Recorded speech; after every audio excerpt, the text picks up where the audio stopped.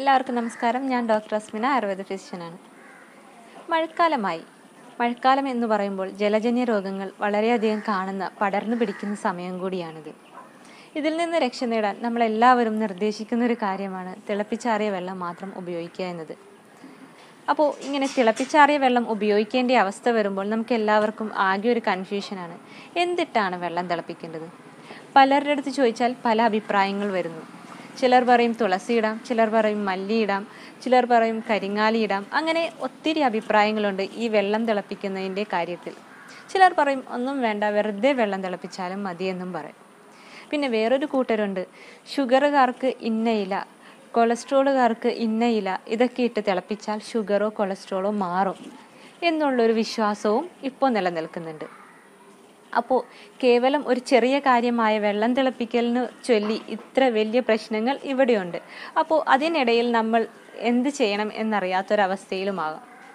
അപ്പോൾ ഈ വീഡിയോയിലൂടെ ഞാൻ കുറച്ച് കാര്യങ്ങൾ കുറച്ച് മരുന്നുകൾ നമ്മൾ വെള്ളം തിളപ്പിക്കാൻ പറ്റുന്ന കുറച്ച് മരുന്നുകളാണ് ഇവിടെ അവതരിപ്പിക്കാൻ പോകുന്നത്.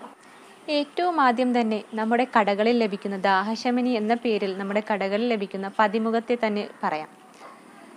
പതിമുഖം എന്ന് പറയുമ്പോൾ നമുക്ക് നല്ല ഭംഗിയുള്ള വെള്ളം കിട്ടുന്ന ഒരു പൊടിയായിട്ടാണ് നമ്മളെല്ലാവരും കാണുന്നത്. കളറുള്ള വെള്ളം പലർക്കും ഇഷ്ടമായിരിക്കാം ഇത്.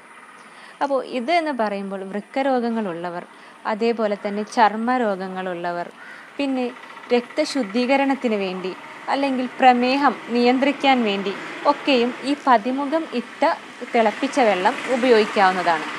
രണ്ടാമത്തേത് തുളസി. തുളസി നമ്മളെല്ലാവരും തന്നെ ഉപയോഗിക്കാറുള്ളതാണ്. വെള്ളം തിളപ്പിക്കാനും ഉപയോഗിക്കാറുണ്ട്. ഇത് കൂടുതലായും പനി ജലദോഷം പോലെയുള്ള അവസ്ഥകൾ മാറ്റാൻ വളരെ ഉപകാരപ്രദമായ ഒന്നാണ് തുളസി. ഇതിട്ട് വെള്ളം തിളപ്പിക്കുന്നത് വഴിയും ഈ പറയുന്ന പ്രയോജനങ്ങൾ ലഭിക്കുന്നു. അതേപോലെ തന്നെ യൂറിക് ആസിഡിന്റെ അളവ് നിയന്ത്രിക്കാനും ഈ പറയുന്ന തുളസി വെള്ളം സഹായകമാണ്. തുളസി വെള്ളം ഉപയോഗിക്കുമ്പോൾ ശ്രദ്ധിക്കേണ്ട ഒരു കാര്യം ഇതിൽ നമ്മൾ എപ്പോഴും വെള്ളം തിളച്ചതിന് ശേഷം തുളസി ഇടുക കുറച്ച് നേരം ഒന്ന് അടച്ചു വെച്ച് തിളപ്പിക്കുക. അത്രയും തന്നെ മതിയാവും. മറ്റുള്ളവയെ പോലെ അധിക നേരം ആ സാധനം അതായത് എന്താണോ നമ്മൾ ഇടുന്നത് അതിട്ട് കുറേ നേരം തിളപ്പിക്കേണ്ടതുണ്ട്. പക്ഷെ തുളസിക്ക് ആ പറയുന്ന ഒരു വിഷയമില്ല. മൂന്നാമതായിട്ട് മല്ലി. മല്ലിക്ക് ചൂടിനെ ശമിപ്പിക്കാനുള്ള കഴിവ് വളരെ പ്രസിദ്ധമാണ്. അതുകൊണ്ട് തന്നെ മല്ലി ദാഹമകറ്റാനും ഉത്തമം തന്നെ. അപ്പോൾ കൂടുതലായും ചൂടുകാലത്താണ് മല്ലിയുടെ ഉപയോഗം പറയുന്നത്. അതേപോലെ തന്നെ ശരീരത്തിന് പുകച്ചിൽ അസിഡിറ്റി പോലെയുള്ള പ്രശ്നങ്ങൾ മൂത്രത്തിൽ പഴുപ്പ് ഇങ്ങനെയുള്ള അവസ്ഥകളിലും ഈ പറയുന്ന മല്ലി ഉത്തമം തന്നെ. ദഹനക്കുറവ് വയറിളക്കം വയറുവേദന ഇവയെല്ലാം ഉള്ള പ്രശ്നങ്ങളിലും ഈ പറയുന്ന മല്ലിയിട്ട് തിളപ്പിച്ച വെള്ളം ഉപയോഗിക്കാവുന്നതാണ്. അടുത്തതായിട്ടുള്ളതാണ് ചുക്ക്. ചുക്ക് പറയുമ്പോൾ പനി ജലദോഷം പോലെയുള്ള അവസ്ഥകളിലും ദഹന സംബന്ധമായ പ്രശ്നങ്ങളുള്ളവരിലും വളരെ ഉത്തമം തന്നെ. അതേപോലെ തന്നെ കൊളസ്ട്രോൾ കുറയ്ക്കാനുള്ള കഴിവും ഇതിനുണ്ട്. ചുക്കിന്റെ കാര്യം പറഞ്ഞപ്പോഴാണ് വേറൊരു കഥ ഓർത്തത്. അതായത് ക്ലിനിക്കിൽ ഒരു പ്രാവശ്യം ഒരു അമ്മ വന്നിരുന്നു. അവർക്ക് ഈ പറയുന്ന പോലെ അസിഡിറ്റി അസിഡിറ്റി അല്ല ഗ്യാസുമായി ബന്ധപ്പെട്ട് വയറ് വീർത്തിരിക്കുന്നു അങ്ങനെയുള്ള പ്രശ്നങ്ങളാണ്. അപ്പോൾ ഇവർ സ്ഥിരമായിട്ട് ഇഞ്ചി ചതച്ചിട്ട് വെള്ളം കുടിക്കുമായിരുന്നു എല്ലാ എപ്പോഴും ഇത് മാറാനായിട്ട് കുടിക്കാനെടുക്കുന്ന വെള്ളം ഇങ്ങനെ ഇഞ്ചി ചതച്ചിട്ട് തിളപ്പിച്ച വെള്ളമാണ് ഉപയോഗിക്കുന്നത്. അവസാനം എന്റെ അടുത്ത് വന്നപ്പോൾ അവരുടെ പ്രശ്നം എന്താണെന്ന് വെച്ചാൽ അമിതമായ നെഞ്ചരിച്ചിലും പുകച്ചിലും പോലെയുള്ള പ്രശ്നങ്ങളുമായിട്ടാണ് വന്നത്. അപ്പോൾ കാര്യം ചോദിച്ചറിഞ്ഞപ്പോൾ ഇത് തന്നെയാണ് പ്രശ്നം. കാരണം അമിതമായി പറയുന്ന ഇഞ്ചി ഇട്ട് വെള്ളം തിളപ്പിച്ചതിന്റെ കാര്യം തന്നെ. അപ്പോൾ ചുക്ക് ദഹനത്തിന് നല്ലതാണ് എന്നും പറഞ്ഞ് അമിതമായിട്ട് ഉപയോഗിക്കാനും പാടില്ല. അഞ്ചാമതായി പറയുന്നത് കരിങ്ങാലിയാണ്. കരിങ്ങാലിയുടെ ത്വക്ക് രോഗശമനം വളരെ പ്രസിദ്ധമായിട്ടുള്ളതാണ്. അത് നമുക്ക് ഈ പറയുന്ന പോലെ വെള്ളം തിളപ്പിച്ച് കുടിക്കുന്നത് വഴി രക്തം ശുദ്ധീകരിക്കാനും സഹായിക്കുന്നു. അടുത്തതായിട്ടുള്ളത് ജീരകമാണ്.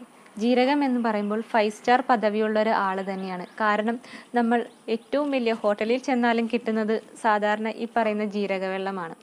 ഇത് ദഹനത്തിന് വളരെ ഉത്തമമാണ്. പ്രത്യേകിച്ച് ബിരിയാണിയൊക്കെ കഴിച്ചു കഴിഞ്ഞിരിക്കുമ്പോൾ ദഹനത്തിനായിട്ട് ഈ പറയുന്ന ജീരകവെള്ളം ഉത്തമമാണ്. അതുപോലെ തന്നെ ഇത് അമിതമായ ചൂടിൽ ഈ ജീരകവെള്ളം കുടിക്കാതിരിക്കുന്നതാണ് നല്ലത്. ഏഴാമതായി ഞെരിഞ്ഞിൽ. മൂത്രാശയ രോഗങ്ങൾക്ക് ഏറ്റവും ഉത്തമമായ ഒരു പരിഹാരമാണ് ഞെരിഞ്ഞിൽ. ഞെരിഞ്ഞിലിട്ട് വെള്ളം തിളപ്പിച്ച് കുടിക്കുന്നത് വഴി കാൽപാദത്തിലുണ്ടാകുന്ന നീർക്കെട്ട് പോലെയുള്ള അവസ്ഥകൾക്കും വളരെ ഉത്തമം തന്നെ. അടുത്തത് തഴുതാമ. തഴുതാമയും ഇപ്പറയുന്ന പോലെ നീർക്കെട്ട് സംബന്ധമായ പ്രശ്നങ്ങൾക്കാണ് ഉത്തമമായിട്ടുള്ളത്.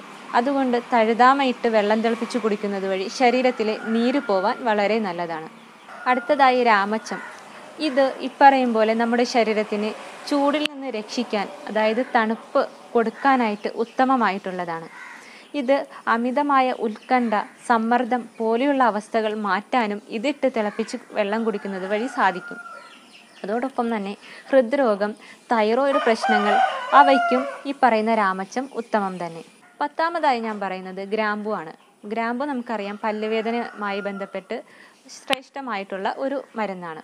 അപ്പോൾ അത് പല്ലുവേദന പല്ലിന്റെ പ്രശ്നങ്ങൾ അതേപോലെ തന്നെ ദഹന സംബന്ധമായും ശ്വസന സംബന്ധമായും ഉള്ള പ്രശ്നങ്ങൾക്കും ഗ്രാമ്പു ഇട്ട് വെള്ളം തിളപ്പിച്ച് കുടിക്കാവുന്നതാണ്. അപ്പോൾ ഇങ്ങനെയൊക്കെ ആണെങ്കിലും നമ്മളിപ്പോൾ ഈ- വീഡിയോയിലൂടെ പത്ത് മരുന്നുകളാണ് അല്ലെങ്കിൽ പത്ത് കൂട്ടങ്ങളാണ് ഈ പറയുന്ന വെള്ളം തിളപ്പിച്ച് കുടിക്കാനായിട്ട് പറയുന്നത്. അപ്പോൾ ഇതൊക്കെയും ഈ പറയുന്ന രോഗങ്ങൾക്ക് ഒരു ഉത്തമ പരിഹാരം എന്ന രീതിയിലല്ല ഞാനിവിടെ പറഞ്ഞത്. അതിനുള്ള മരുന്നുകൾക്കൊപ്പം നമ്മൾക്ക് ഉപയോഗിക്കാവുന്നതാണ് എന്ന് മാത്രം. അതുകൊണ്ട് തന്നെ ഇവ സ്ഥിരമായി ഉപയോഗിക്കാനും പാടില്ല.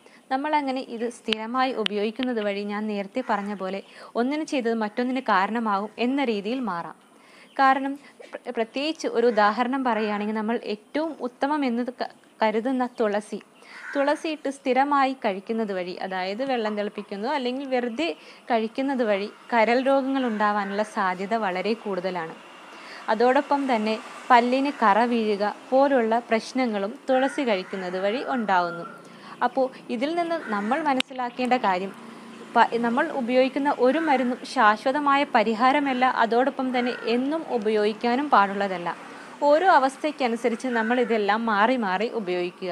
അതായത് ഇപ്പോൾ ഞാൻ ഈ പറഞ്ഞ പത്ത് കാര്യങ്ങൾ പത്ത് പ്രാവശ്യമായിട്ട് പത്ത് രീതി പത്ത് തവണയായിട്ട് നിങ്ങൾക്ക് ഉപയോഗിക്കാവുന്നതാണ്. ഒരിക്കലും ഒറ്റ മരുന്ന് മാത്രമായിട്ട് സ്ഥിരമായിട്ട് നമ്മുടെ ശരീരത്തിനകത്ത് ചെല്ലാൻ പാടുള്ളതല്ല. അത് മറ്റു പ്രശ്നങ്ങൾ ഉണ്ടാക്കുക തന്നെ ചെയ്യും. അപ്പോൾ ഈ വീഡിയോ എല്ലാവർക്കും ഇഷ്ടമായെന്ന് കരുതുന്നു. ഇവ നിങ്ങളുടെ വെള്ളം തിളപ്പിക്കുന്നതിൽ ഇവ നിങ്ങൾ ഉൾപ്പെടുത്തുമെന്ന് വിചാരിക്കുന്നു. നന്ദി.